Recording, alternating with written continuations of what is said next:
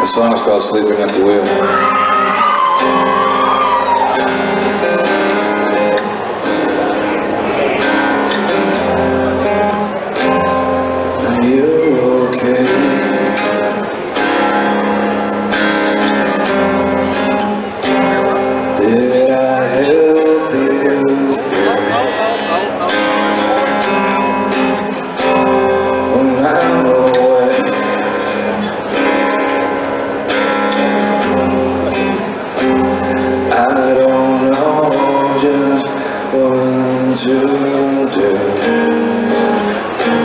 만큼